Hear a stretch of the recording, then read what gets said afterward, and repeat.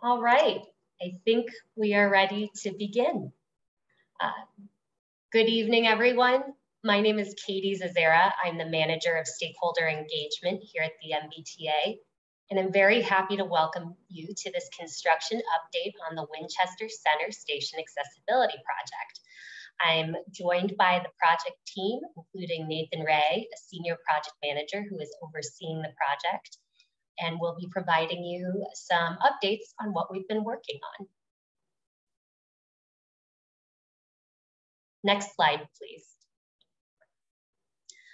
I'd like to go over a few housekeeping things before we get started. As you probably heard, this meeting is being recorded so that it can be shared with people who are unable to join. You will also be able to watch the recording and download the presentation used on the project website following this meeting. I would like to introduce our ASL interpreters for this evening, Linda and Shannon. They will be providing ASL throughout the presentation as well as during the Q&A portion of this meeting. For closed captioning, please click on the closed caption icon on your control panel. You can adjust the size of the caption by clicking the arrow next to the start stop video, click the video settings, then accessibility, and move the slider to adjust the caption size as needed. Next slide, please. All MBTA activities, including public meetings, are free of discrimination. The MBTA complies with all federal and state civil rights requirements, preventing discrimination on the basis of race, color, national origin, limited English proficiency, and additional protected characteristics.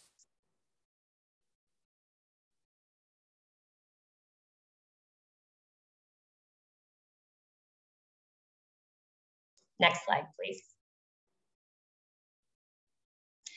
If you have a technical question about Zoom or the features of tonight's meeting, please use the chat function. Our technical assistant will attempt to troubleshoot your problem and help you to the best of their ability.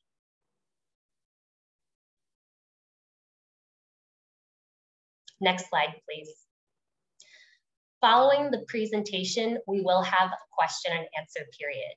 You'll be able to raise your hand during this period and I will ask to unmute you so that you can state your question or comment.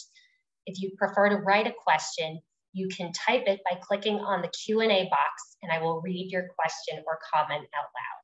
I'll repeat these instructions when we get to the question and answer portion. Next slide, please. Here is the agenda for tonight's meeting.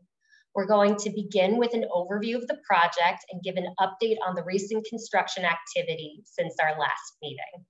We'll then provide a preview of upcoming construction through the spring and review how you can contact the project team and sign up for project updates. We'll conclude with a question and answer period. And now I'm gonna hand it over to my colleague, Nathan Ray, to continue with the presentation. Thanks, Katie. So we're pleased to be back after six months away, updating the public as to the status and what we're doing here at Winchester Center. Well, what are we doing? Uh, it's a full station reconstruction of a commuter rail station. Uh, we are building two new fully accessible high-level side platforms with canopies, three new elevators, two new ramps and three sets of covered stairs. Also, our project includes new lighting, signage, and wayfinding, security cameras, and other amenities. Our work also includes new railroad track, ties, ballast, bridge plates, and communication duct banks at the platform uh, rail level. Total construction for our project is $50 million.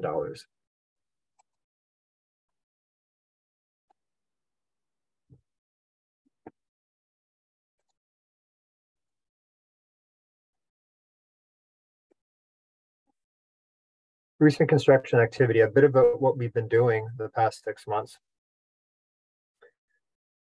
We've been removing granite stone along the viaduct wall. This is a picture on the left here at Laraway Road. This work involves, uh, creates lots of dust, so we have to mitigate for that with uh, water. You see that there in the in the center photo. In addition, we've been demolishing the northeast uh, ramp, we call it. This is the area behind Thompson Street at the Quill Rotary. And so that's been a very delicate part of the, the demolition there because it's obviously so close to neighboring businesses along Thompson Street. So that's a significant milestone uh, that we've completed this past um, this past this past six months. There's some there's still some demo left demolition work left to do, but for the most part, uh, we've we've made uh, about ninety percent of it is complete.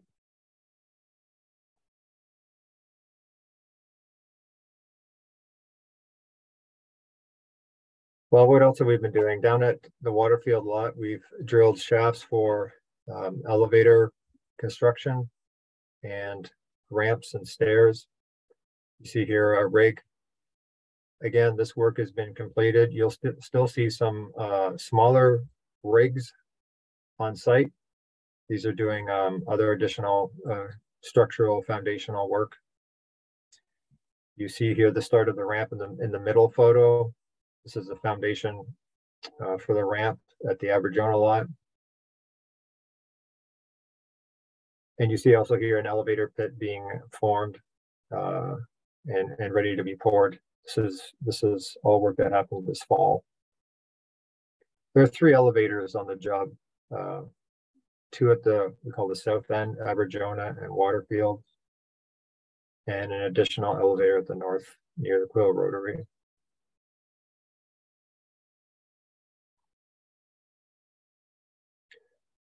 What else have we been doing? Well, we've been doing foundation work at the uh, elevator in the in the Waterfield lot. You see there, next to the Chamber of Commerce building. Uh, again, more granite stone removal. Some of the a lot of a lot of the granite stone will be reused. That's why it has to be taken down so so carefully. you see here uh, the other smaller rig I was talking about here, the, the we call it micropile installation work.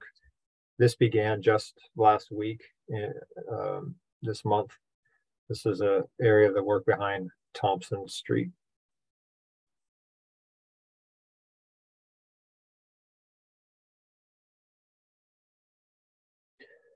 So that's what we've done. What are we doing coming up uh, in the in the winter and early spring?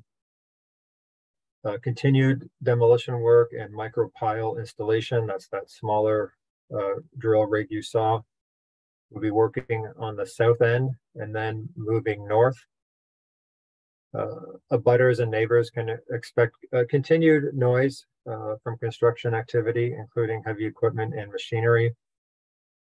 The work will primarily take place during the day. This is Monday to Friday, 7 a.m. to 5 p.m there's only been a few times when we've gone past that. There's some there's been some Waterfield uh, bridge work. Uh, we had to do weekend and overnight work this past um, this past six months. Construction advisories will be distributed ahead of any scheduled night or weekend work if necessary.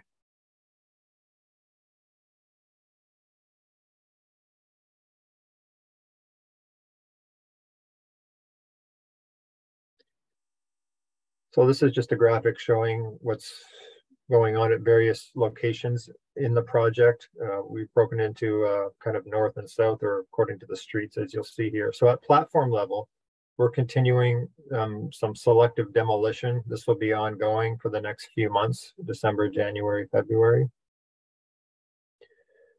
Down at the south end of the project in the Aberjona and Waterfield sections, we'll be constructing ramps and platforms we call that area the head house. That's kind of the main uh, kind of destination for the station, if you will.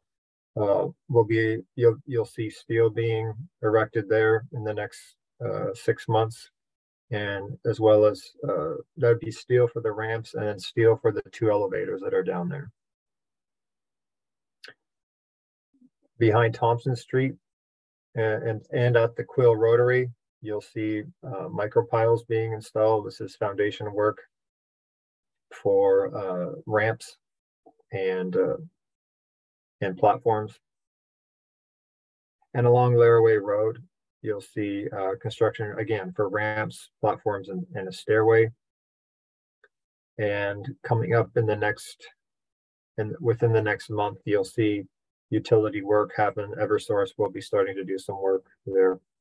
This is uh, electrical utility work.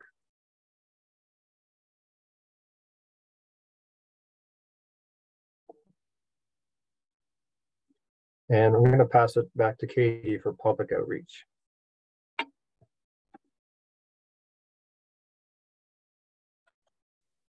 Oh, I forgot to unmute myself. My apologies. So there are a variety of ways you can get in touch with the project team. Our project inbox is Winchester Station at mbta.com. It is regularly monitored by the project team. There's also a construction hotline, 781-218-9717 for any construction related concerns and questions. Uh, the project webpage, which is updated regularly, is mbta.com slash Winchester Station. And you can also go to that page or just email us to sign up for any updates that we send out on the project.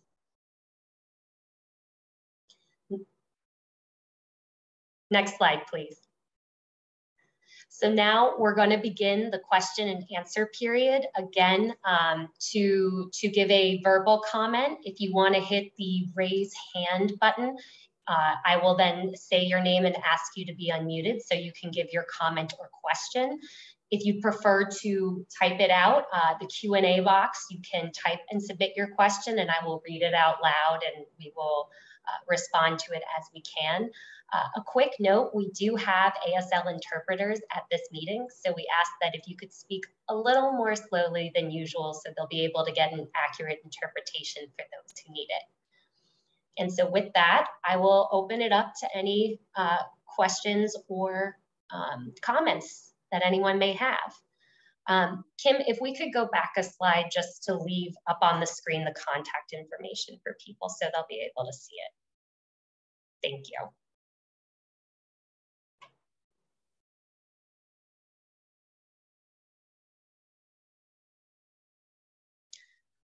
So I have a, a written question. Michael Burka asks, when do you expect the station to reopen?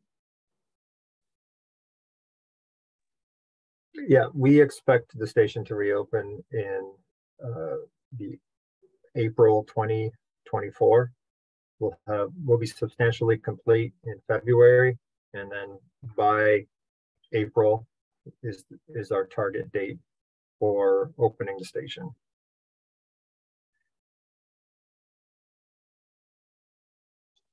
That, that's 20 that's 29 months of construction uh, from from start to finish.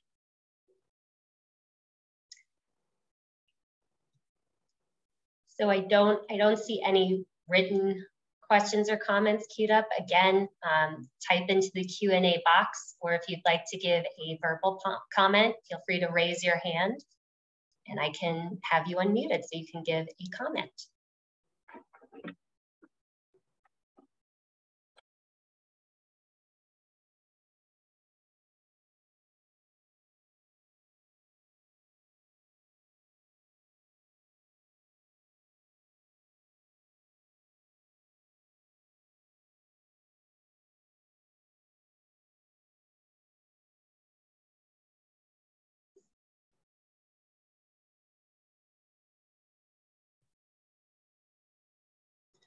I'll do um, one more uh, last call. Oh, here we go. Uh, Krista Dix asks, how long will the current fencing that surrounds the project be up? Yeah, the fencing will be there for the duration of construction. I think you'll you you probably are talking about areas like Laraway Road and uh, lot Um, a lot of those areas need to be fenced off per regulations. Um, obviously, we don't want people wandering into a construction area. And there's uh, there's things that are stored there. Um, so that that that fencing will be pretty much right up until we open the station, perhaps a bit prior to the station, we'll be taking that fencing down. We are working generally, just so everybody knows, in a in a south to north uh, fashion. So we're, we're we are everywhere, like you like you see, but in general, we're trying to work south to north. So it could be perhaps the south southern areas will be finished up first. Um, so we could see perhaps you know some areas opening up with some fencing coming down in the southern area first. But in general, the fencing will remain uh, throughout construction.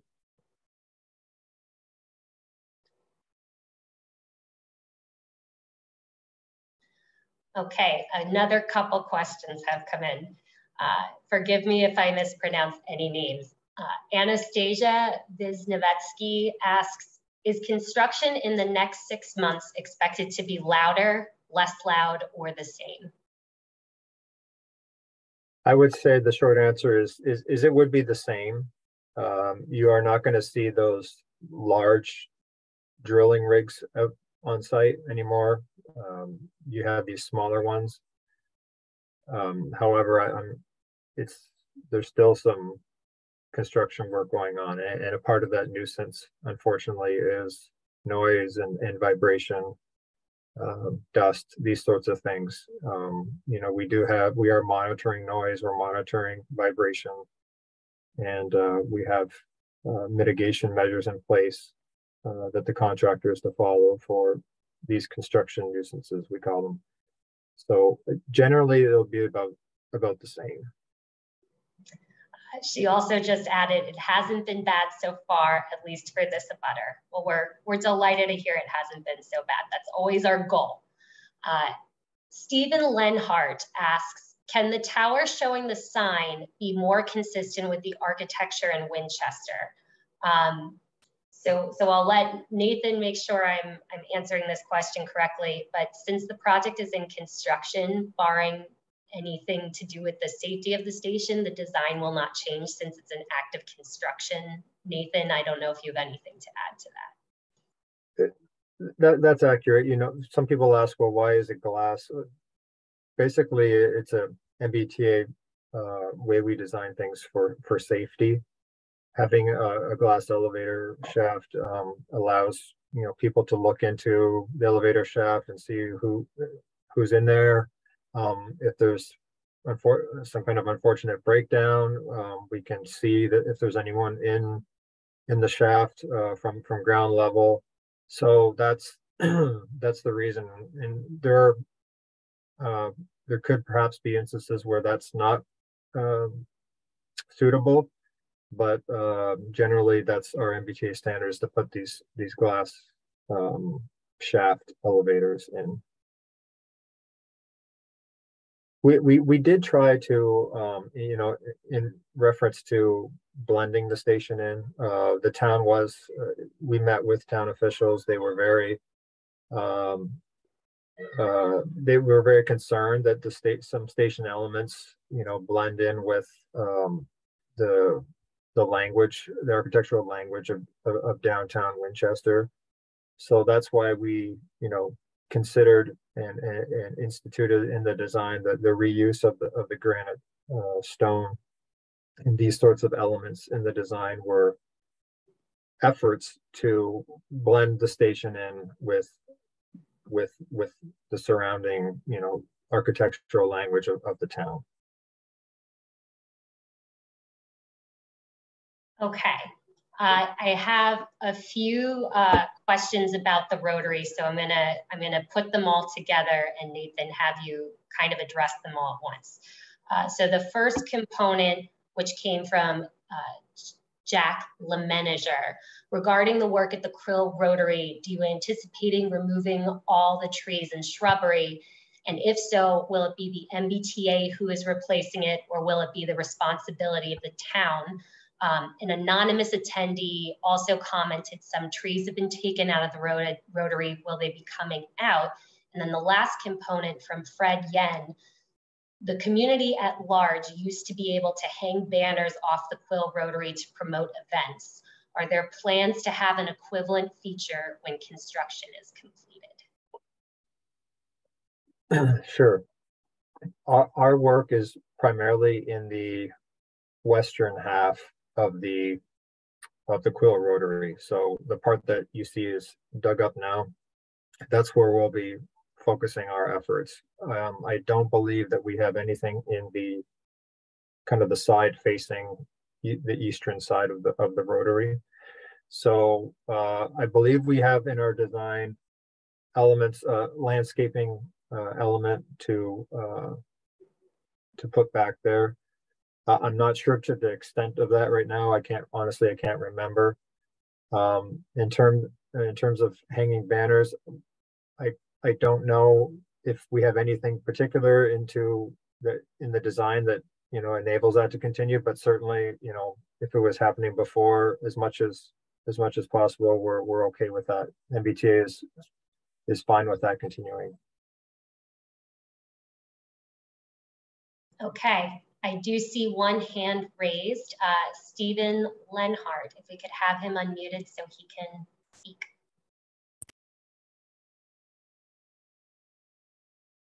All right, Stephen, you should be able to unmute yourself. How's that? Yep, we yep. can hear you. Other than the sign that we see in the picture in front of us, are there other large T signs anywhere else on the property? The, when you're talking about the sign, Stephen, are you talking about the purple one to the left or the large T on the, elevator? the large T on the shaft? I believe that is on the uh, elevator shaft on the average on the Waterfield side. Yeah. And I believe it's on the elevator uh, in the north end of the station behind Thompson Street at the Quill Rotary. Well, the the issue is that obviously everybody knows that this is the T station and those signs are not particularly attractive. So I guess the question is whether you could just leave them off. I presume that she won't let you, but whatever. Yeah, yeah it's not something that was the the old station did not have these large T signs to my recollection, I think is probably what you're referring to. And um, yeah, yeah, no, it's so we are, you know, a part of what we're not just, you know, the station wasn't just in uh, need in need of, you know, general rehabilitation, but in in doing that, we want to bring it up to standards that have evolved over, you know, the decades since we've uh, come back to been at Winchester. So um, part of the those standards include uh, the branding, and so this this T is part of the branding. And um, you know, I I understand what you're saying, where everybody in Winchester knows that this is the T station. Um, I think it's it's generally a it's just a, a standard signage that we have across all of our stations you know that it's unmistakably a t and t-stop and this is uh, recognizable and there's some familiarity with uh, with patrons you know regardless of where they are they they'll know that this is this is a mbta station and the, the thing I would add as well is this is primarily done for wayfinding, um, which is also a, a, good accessibility tool so people can understand where they're going. Um, and that was the big driver for this project as a whole is not only was the station obviously need in repair of repair, but we had to bring it up into full accessibility, which is the driver for the project. All right, thank you. It's still not particularly attractive, but thank you. Thank you. Okay, we have a follow-up from Fred Yen um, as far as the banner question. Can there be a kiosk feature that can be added? How can we and up to what point can we influence the design to include these community promotion components? Um, again, I'll let Nathan answer this, but seeing as the project is in construction, uh, there are very unlikely to be changes to the design. Um, Nathan, if there's anything you want to add to that. Sure. I'm not sure what exactly is meant by kiosk. Um, I know, um, you know, there's, we don't have anything particular in the design, um, where things can be affixed to. I think is that, that's referring to that. Um, I'm not sure if- if the, if the town wants to, uh, engage the MBTA for, to do something on their own close to the station, then we're certainly willing to work with them. So uh, Fred has his hand raised, so maybe he can better explain. Um, Fred, you should be able to unmute yourself. Uh, okay, so, um, the- there are, um, members of the cultural council who, uh, installed in the Wedgemere station, uh, a TV screen that had a rotating, um, uh, lineup of town events. Uh, I was just wondering if something like that could be, uh, included somewhere in the new station.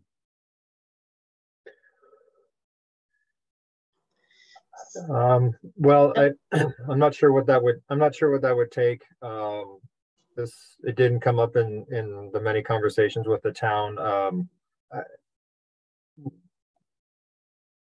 Again, this would be something could, perhaps that could be added, uh, after, after the station construction is complete by the town. Um, That's, that's, that's, that's the possibility that, I- that I would see right now. So I guess what I'm asking is, um, if we worked with the town, um, at what point would it be still all right to, um, add something? Well, I mean, you know, we're, we're in construction right now and we had our design uh, completed a- while ago and we are uh, moving ahead with what we've designed.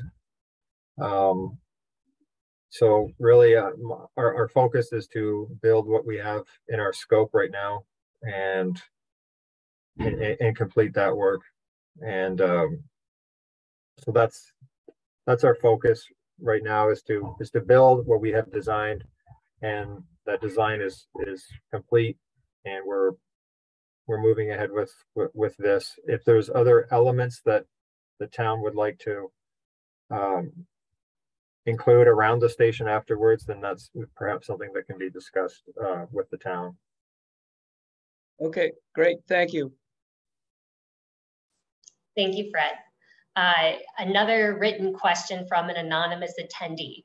What will parking look like? And my guess is this refers to once we're completed with construction, what parking will look like. Um, if, if that's not the interpretation, feel free to, to put in the chat if you had a different question. But Nathan, why don't you speak to once construction is complete, what parking will look like? Sure. Construction will, um, will, once it's done, will be, there's some spaces that will be returned to be parking again. For example, all of Laraway Road will return to, to what it was. And, but, and then, uh, when you get to Aberjona, there are some, there were some parking spots that were along the viaduct wall that were, uh, on MBTA, there were MBTA property and some of those spaces will be lost because we're building a a pedestrian ramp to get up to the, to the platform there. Um, I think that's uh, about fifteen spaces will be lost in the Aberjona lot and the rest will be given back. So there's some spaces along that Aberjona viaduct wall that are fenced off. Some of those will be returned for parking and some will be, are lost to uh, our construction work that we're doing. But in general, it, it's gonna look like what it did before, except for this lot. Uh, Waterfield will look a bit different. Um, again, our construction, um, will be taking up some places that were, that had parking, uh, stalls before. Um, there are, in, in general, though, the, the parking will be, will be returned to, to what it looked like before.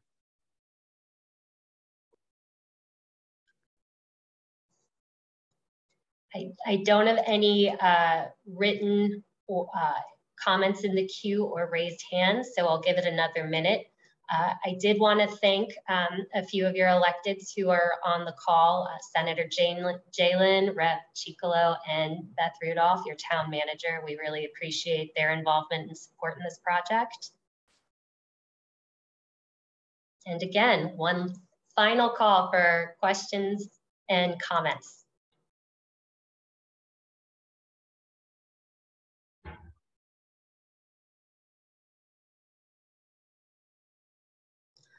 All right. Well, if you uh, weren't uh, ready to give a comment tonight or you think of something in a few days, again, we always are available at Winchester Station at MBTA.com.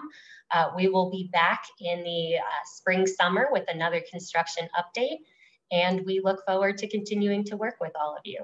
Have a great evening.